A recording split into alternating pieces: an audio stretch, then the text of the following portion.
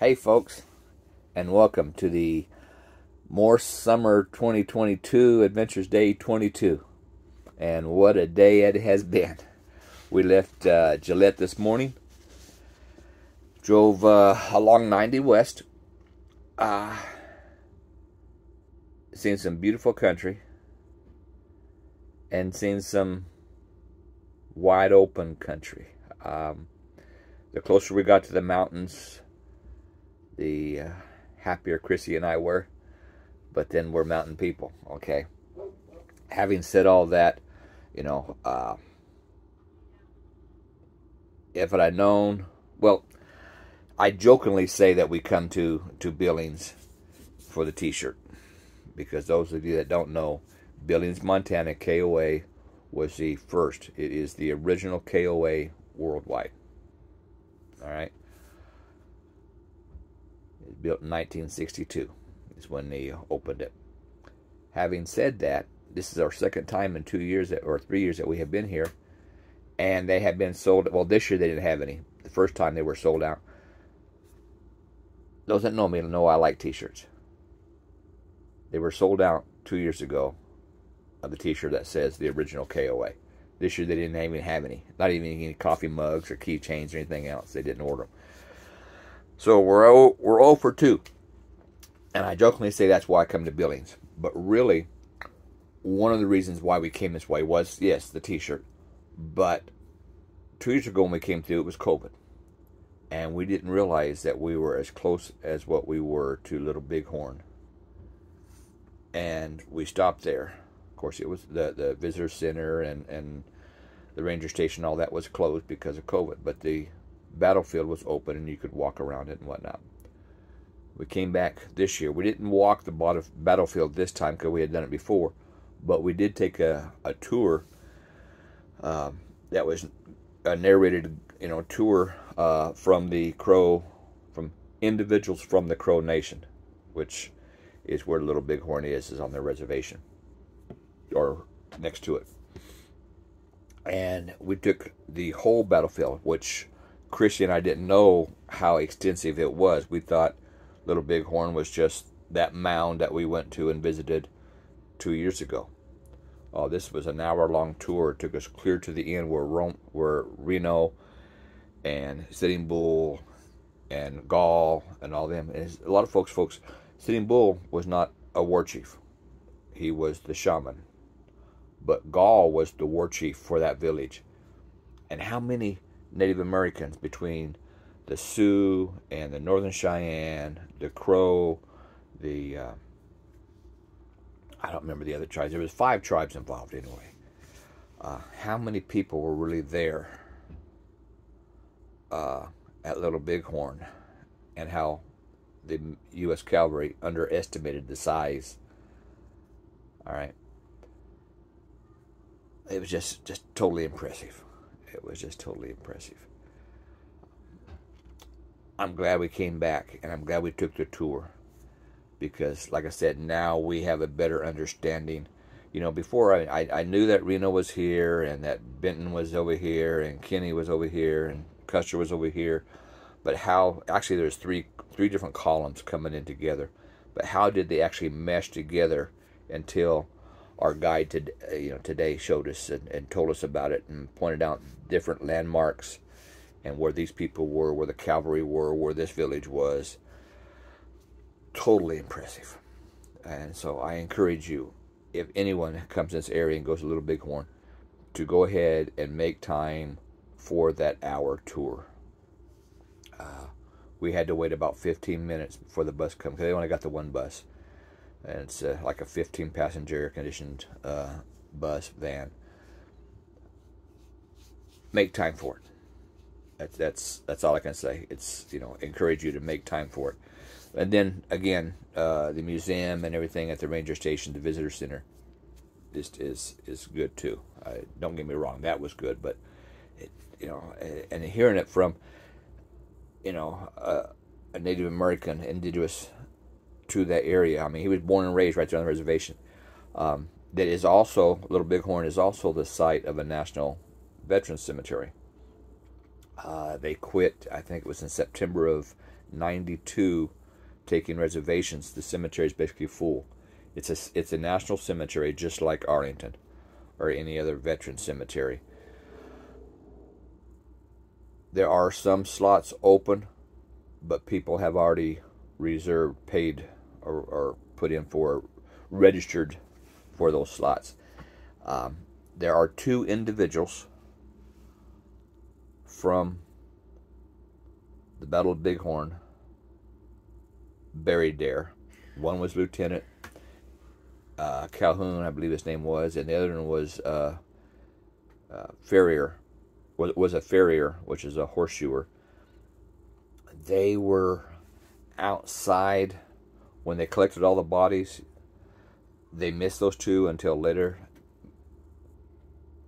So those were the two individuals that are that were members of the battle that are buried in the National Cemetery. Our guide, he has two grandfathers buried there. One, both of them are World War II vets. One of them is also a Korean War vet. So both his grandfathers are buried there. His great great grandfather uh, was a scout for the cavalry. Uh, the Crow were allies with the cavalry, if you will. Uh, but the the rest of the individuals that were fallen, the 200 and something are fall that were that that that fell at Little Bighorn, at Little Bighorn, are buried in a mass grave, and then there's a monument on top of it. And because they are buried in a mass grave and the monument, that's where they will lay forever. They can't go in and do DNA and, and identify the different people because they were just all buried. So now all the bones are just all mixed together. The other individual that, and some of them were buried where they laid, all right, where they where they fell. Later on, they came in and buried them all in the mass grave, except one, and that was Custer. And of course, he's buried, uh, I think, back in Arlington. If not in Arlington, then in, in Minnesota uh, or Michigan. Minnesota, Michigan, Michigan, where he's from. Anyway, uh, he's he's also the one that was buried here, but then where he fell, but then they entombed him and or exhumed him and, and took him to wherever. So those three individuals from the Bighorn that died here, two in the National Cemetery here and Custer back wherever. The rest of the people that fell at Little Bighorn are all buried under the, the mass grave underneath the monument. Uh, but still impressive. Uh, it, it it made things more understandable now that I had the whole tour, and and the battlefield uh, is about three miles long, if not longer. So, and I don't know how much how wider, but I mean, it's not just the little knoll that Custer stood, you know, and they call it the Last Stand Hill, but that's not the Little Bighorn battleground, if you follow what I'm saying. So, and then uh, we came on into Billings. Uh, and and you know got set up and everything. Um, had a few issues, but you know that's in God's hands, and um, we're still on the road. Hopefully, the slide will come in uh, when we get ready to leave tomorrow. But uh, you know, I got something better. Okay, always better. Today's scripture, Lamentations three, twenty-two and twenty-three. Through the Lord's mercies we are not consumed, because his compassions fail not. We are new every morning. Great is your faithfulness. Excuse me. Another version. Ooh.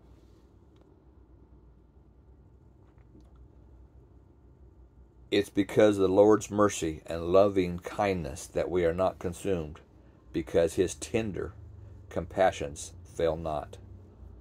Malachi 3 6. They are new every morning. Great and abundant is your stability and faithfulness. And that refers to Isaiah 33 2.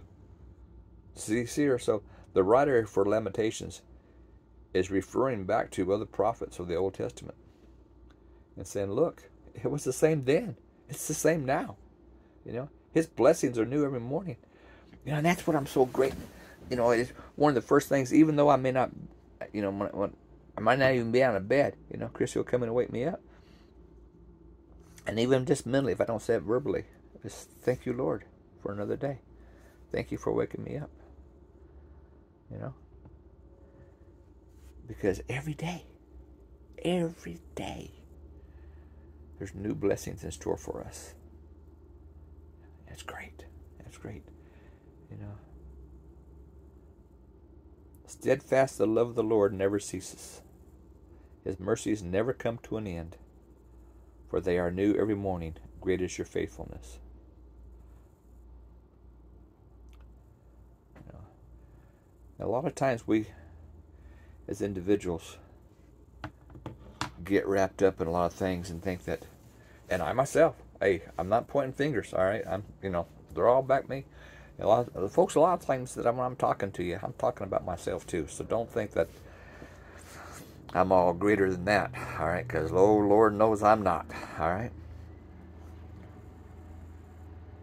But so many times we stumble and fall, and we think, oh, I've blown it, you know. Though the Lord's mercies, we are not consumed. Because he loves us so much. And we're covered by God's or by Christ's blood. You know, we've got it. Yeah, we'll stumble and fall. And as the good father that God is, he's going to reach down and say, Come on, son. Come on, daughter. And pick you back up. Dust your bitches off.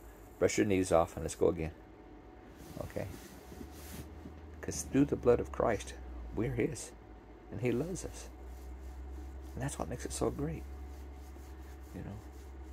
Through the Lord's mercies, we are not consumed because his compassions fail not. They are new every morning. Great is your faithfulness.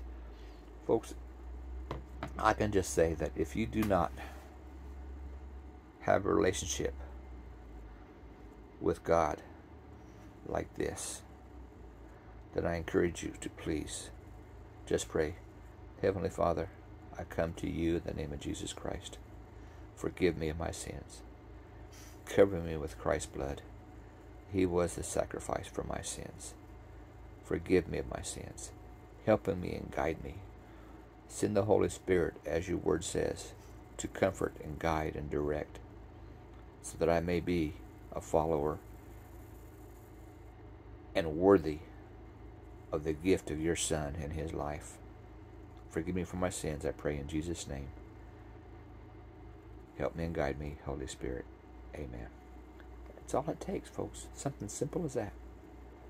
So, y'all be blessed. We'll see you again tomorrow night uh, at a place a little further west and a little further south. Okay, we've changed our reservations a little bit, so you know it is going to be what it is. All right. God bless you. We'll see you tomorrow. Good night.